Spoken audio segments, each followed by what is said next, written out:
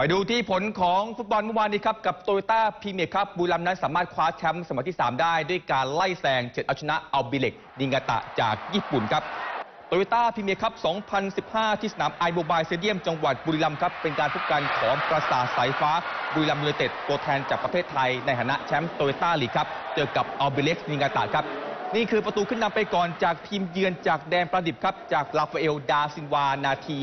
55 ครับ แต่ว่าทีมต้องกลาเจ้าบ้านมายิงแซงคืนได้ 2 ลูก เป็นจังหวะซ้ำๆกันนะครับ ของลูกเปิดเตะมุมพินทรบุญมาทันเปิดให้กับโกซุกิมงเหมือนกันทั้ง 2 ลูกนะครับ นาที 60 และก็ 79 เป็นการแซงกลับมาคว้าแชมป์ได้เป็นสมัยที่ 3 ของทีมบุรีรัมย์ครับรับเงินรางวัลไป 1 ล้านบาทนะครับนี่เป็นการประเดิมนัดแรกด้วยนะครับของการใส่สีเสื้อใหม่ สีชมพูหวานแหววต้อนรับเทศกาลวันวาเลนไทน์ด้วยครับ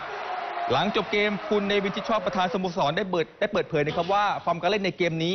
เป็นเพียงแค่ 85%นะครับ เพราะว่าการเสียประตูแรกนั้นก็เป็นการปลุกใจให้กับนักเตะนั้น ตื่นกลับขึ้นมาสู่เกมอีกครั้ง จนคว้าแชมป์แรกได้ในปีนี้ และขอมอบแชมป์นี้เนื่องในโอกาสวันวาเลนไทน์วันที่ 14 กุมภาพันธ์นี้ครับ